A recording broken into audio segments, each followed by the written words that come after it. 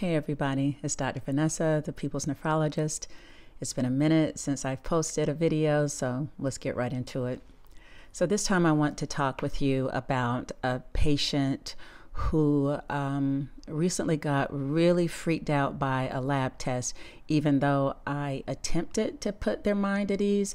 So, it just goes to show you that everything is about context. And so, I want to give more information so maybe it'll save some of you from going through that same, oh my goodness, what's going on kind of panic. So, this patient in particular, as I've told you all before, in order to really know what's going on with your kidney function, you need to check a blood test and a urine test. The urine test is to see how much albumin is in the urine, and it's important that is um, it has the amount of creatinine in the urine as well, uh, so that you're not um, uh, so that you're accounting for how dilute or concentrated the urine is. So when you get those numbers, don't just look at the albumin, you look at the albumin to creatinine ratio, like albumin divided by creatinine in the urine. And so this patient's number, let's say, was around 100. And I told um, them that normal was less than 30. Okay. And naturally, they freaked out because, oh my goodness, that's more than three times normal. But what I need you all to understand is the context, the range of what it could be. So, yes, less than 30 is normal, um, but it can go up into the thousands depending on the cause of the, the kidney problem. So, what does it mean? I have repeatedly told people that it is a sign of early kidney damage and it can also cause more kidney damage. I tend not to go into more detail than that because I don't want to unnecessarily frighten people, but clearly the human mind will take us to horror levels without explanation. So I'm going to give you a, a little bit of what I'm talking about. So, not only can the um, amount of protein or albumin in your urine uh, lead to more kidney damage, it can also lead to higher risk of death of any cause, um, cardiovascular death like uh, stroke and heart attack as well. So, before you freak out about that, again, it's important to consider the context and the range of possibilities.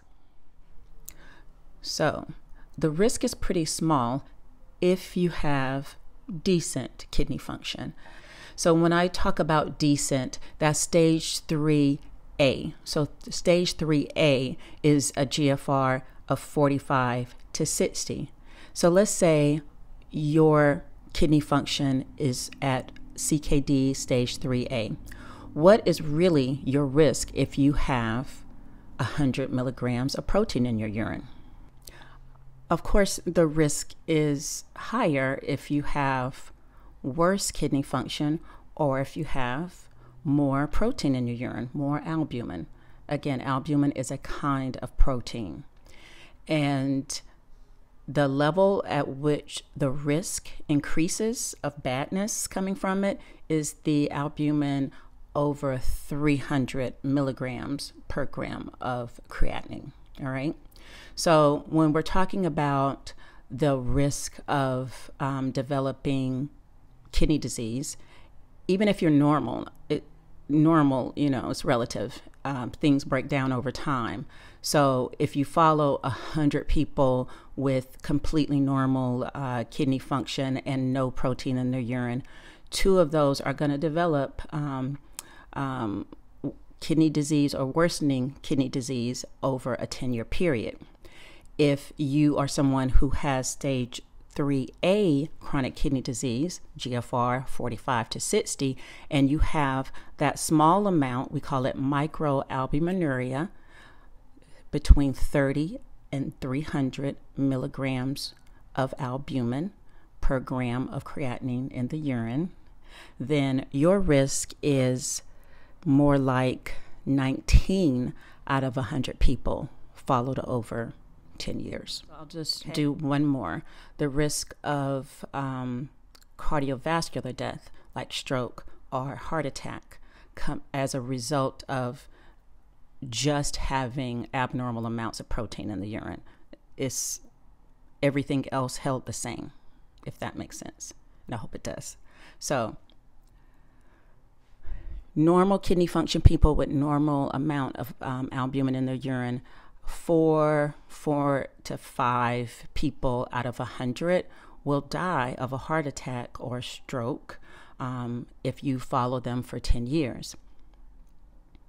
But if you have that stage 3A chronic kidney disease, then it'll be like 12 to 13 out of 100 people followed for over 10 years. So none of this is immediate. None of this is, oh my goodness, I'm, I'm going to be on dialysis tomorrow or I'm going to die tomorrow.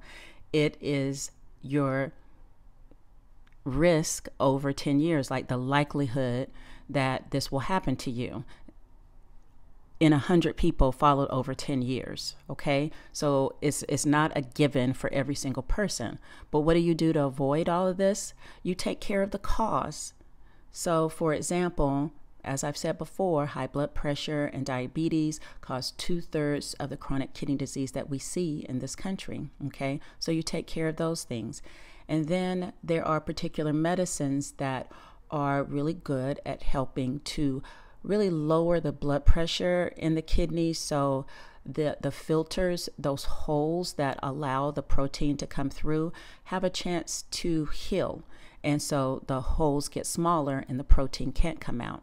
And there's two main classes of medications that we use ACE inhibitors and ARBs. But black folks, don't anybody tell you that those don't work for black people. I'll say more about that in another video. But for now, I'm going to leave it there. And I hope that helps clear things up and helps some of you not worry as much. And at the same time, take it seriously because it is, is nothing to be ignored. All right. Until next time, take good care.